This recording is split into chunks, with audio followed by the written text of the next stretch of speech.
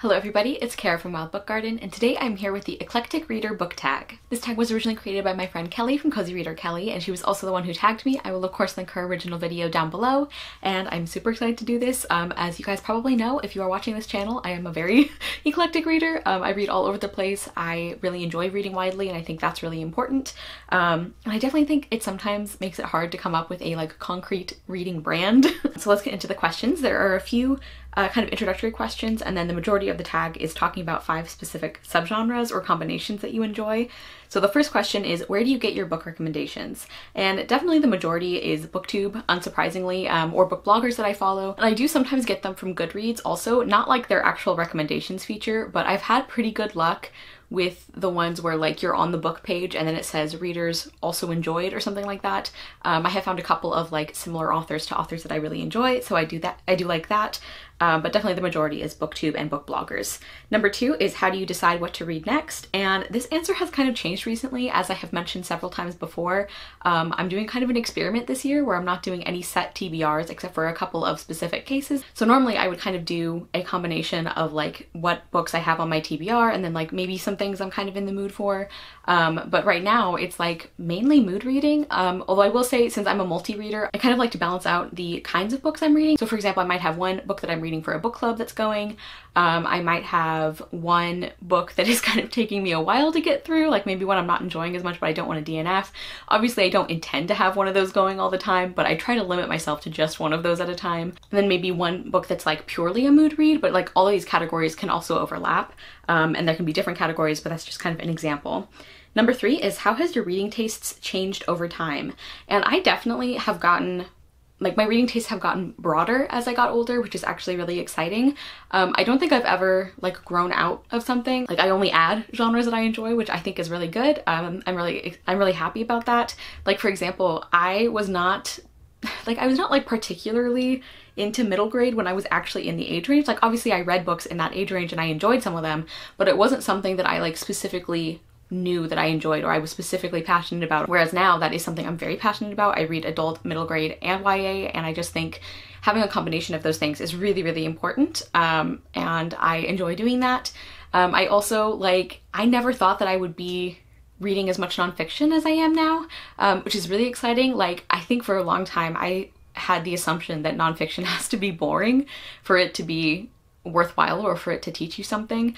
Um, like if it didn't read like a textbook, I felt like, well, I'm not re- I'm not really learning, you know. Um, but once I started really finding the particular kinds of nonfiction that I enjoy, I've discovered that I really, really enjoy it. Um, I think there's a lot of important nonfiction books out there, and I've been really enjoying like reading more of those. I also have found that I can really enjoy magical realism or fabulism. Um, still like relatively picky with that. Like obviously I love Anna Marie McLemore um, and there are a couple other examples that I have really enjoyed, but so it's still not like a most read genre for me, but it is definitely one that I really enjoy. Like I, I can really enjoy, which I never thought would happen. And of course the genre that I read most of and was kind of like the genre I fell in love with first is definitely fantasy. I still read a lot of fantasy um, and also historical fiction. I think when I was younger I didn't read as much historical fiction as I do now, um, but I definitely had some that I really enjoyed when I was a kid that were kind of formative for me and I continue to love historical fiction now. Number four, what genres or subgenres do you never or usually never read? Um, so one of the only ones I would say I never read is like erotica for example because um, i i'm pretty picky about like the romance genre in general and i i'm very very picky about the way that sex scenes are written so like it doesn't like it wouldn't be enjoyable to me to read a genre that is like primarily focused around the smut. And I also very, very rarely read horror. Like almost never. Like one of the only examples I can think of is Mexican Gothic, which I did love, but like I'm very, very particular. I don't tend to enjoy that genre as a whole, and I'm not really looking to read more of it, except in, again, those like certain cases that I do think I would enjoy. Okay, and then questions five through nine are what are five specific subgenres that you enjoy? Include a recommendation or two for each one. So my first subgenre is baking magic. Um, several of these list you're probably not going to be surprised about. Um, but I have, of course, the Love Sugar Magic series by Anna Meriano. This is The Dash of Trouble. Um, and Leonora is our main character and her family are cocinera brujas, so they're cooking or baking witches. Um, I just really love this series. I have talked about it at length, so I'll try not to go into too much detail with it with some of these. Um, also, Midsummer's Mayhem by Rajani LaRocca. Our main character is Mimi, and um, this is a middle grade retelling of A Midsummer Night's Dream, which I also love. We're getting a companion book that I'm very excited about. Um, and of course, I really enjoy the baking magic in this one as well. And then this is a recent read, and the baking magic is definitely a subplot, but it is there, and I did enjoy it. And it's a book and author that I love, um, and that is The Mirror Season by Anna Marie McLemore. Again, the baking magic is a relatively small subplot. The majority of the book is about sexual assault, so um, be mindful of that going in. But our main female character, um, her family does own a bakery, and she kind of has this special power of being able to tell exactly what pastry somebody needs and how that's going to help them in their life. Um, so I do really enjoy that element, although again, there's a lot of other things happening in this book as well. I also really enjoy historical fantasy in general, but I wanted to pick a particular kind of historical fantasy. Um, and the one I picked is like historical fantasy that's basically, it feels a little bit like Jane Austen plus magic. Um, that's something I really enjoy. And one of them is a series I have been really gushing about lately, and that is The Dark Days Club by Alison Goodman. Um, I just really enjoy the writing. I think this has a really good amount of historical detail. Like I don't think like maybe maybe if you've like never read a historical fiction book before there you might have some questions about it but i think overall this is this would be like a very accessible histor- historical book. Um, i think the magic elements are interesting. I love our main character. I love the romance and the romance has a little bit like a tiny tinge of like elizabeth and darcy. Um, although i think i don't think you have to love elizabeth and darcy in order to enjoy their romance um, but yeah, I just have been really enjoying that series. And also, if you want something that's a little bit more like fantasy comedy of manners, um, Sorcery and Cecilia by Patricia C. Wrede and Caroline Stevermer. Uh, this is just like a really fun, light book, and it's really funny. I really love the relationship between our main characters. I think they're cousins. Um, I think that it's just like a lot of fun, and um, I really enjoy the writing of that one. That one's also an epistolary novel, um, but I don't think like I think if that's nor not normally something you enjoy, I don't think that would be off-putting. Next I want to talk about fantasy books that are like vaguely Italian inspired. Um, I like in general fantasy books that are inspired by different countries, but I decided I wanted to highlight some Italian ones. Um, one of those is a series that I have loved for a while now. That is the Stravaganza books. This is City of Masks, the first book, and it's by Mary Hoffman. Um, I just really enjoy these books. I think they have a really great cast of characters. Um, I like the kind of side relationships in this series as well. Um, and this series follows, each book follows a different kid from our world who um, has something serious going on in their life. And because of that, they end up, um, like those are the kids who get selected to like get transported to this world called Talia, I think. So it's like not quite Italy, but it's very similar. Um, and I just like really enjoyed this series. I like the setting. I enjoy the characters. Um, it's one of those series where like I some of the books I do really love the main characters and some of them I don't as much, but even if I don't love the main characters, there's enough like side characters I love that I still like really enjoy those books. So um, yeah, really enjoy that series. That one's kind of an older one relatively speaking. Um, and then also the Magical Venice series by Holly Webb. I have talked about these a lot lately. Um, this is the Water Horse book one, and this takes place in a magical version of Venice. And the, one of the things that I have talked about this series before is I really appreciate the balance of the light fun elements with the darker elements in these books. Um, they're definitely handled, I think, with a light hand, but there is quite a bit of like darker stuff going on underneath. Like um, this book starts out with our main girl figuring out that she has been essentially mind controlled for the majority of her life by somebody that she trusted, um, which is like, you know, a pretty scary way to start off a book. Um, but yeah, again, I really like the magic, I really like the characters, I really appreciate the way that the themes are handled and like incorporated into the story. And again, I just think those are balanced with the fun elements really well. And I also want to mention Foundryside by Robert Jackson Bennett. This is a fairly popular fantasy book. Um, I feel like a lot of people have already read this one or know about it. Um, I read it kind of late, but I did enjoy it. Um, this one is definitely like the the Italian-esque setting is not super prominent, but it is a book I enjoyed and I did think the setting was fun. It is one of those though that like if you know even just like a little bit of Italian, it can actually make it kind of confusing trying to like like they use like words that are not quite right in some cases and that kind of threw me off with some of the like setting for a while. Um, but overall I did enjoy the setting and I really liked the heist element of this book. I grew to really enjoy the characters and I really love the magic system in this one. It's almost like programming a little bit. Um, so I just found that fascinating and I did enjoy this book. Although again it's kind of like like the Italian elements are like much lighter, but I did want to talk about this book, so I put it in this category. Next, I have historical fiction plus time travel, um, which is funny because I don't like time travel science fiction books usually. Um, it's actually like one of my least favorite tropes, I feel like. But when it's combined with historical fiction, I actually really enjoy it. Like when somebody from our time, or approximately our time, um, goes back in time to another era, I just find that super interesting, and that's for a few different reasons. Um, one example is Kindred by Octavia E. Butler. This is another very, very popular book, and I also thought it was fantastic. Um, our main character, Dana, I think this is I think she's from the 70s, which was the current day when this was written, um, and she gets transported back in time to the antebellum South, which is obviously incredibly dangerous for her as a black woman. Um, and the time travel in this one, I think, serves a couple of purposes. It's definitely not super explained, so if that's what you like about time travel, you might not like that element of this book, but I thought this was fantastic. Um, I think the time travel brings up some really, really interesting questions about um, like personal responsibility and how much people can change. And I think it also brings into sharp relief um, the differences between Dana's world that she is from and the way that she is treated in the past. Um, so I think it has like a very, I guess, practical use in that way as well. But um, yeah, this is just like a really incredible book and it's one I would highly recommend even if you're not a fan of time travel because I loved it and I'm not.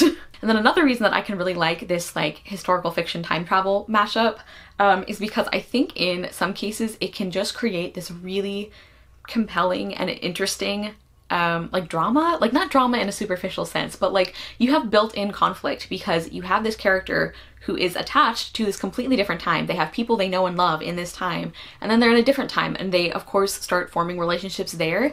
And I just think that that is like so interesting and so compelling, and I just it's I just like really think that conflict is very compelling. Um, I've said that word a lot, I know. But one of them is No Good Deed by Kara Connolly or Cara Connolly. I never know how to say it when it's not spelled the way I the way I spell mine.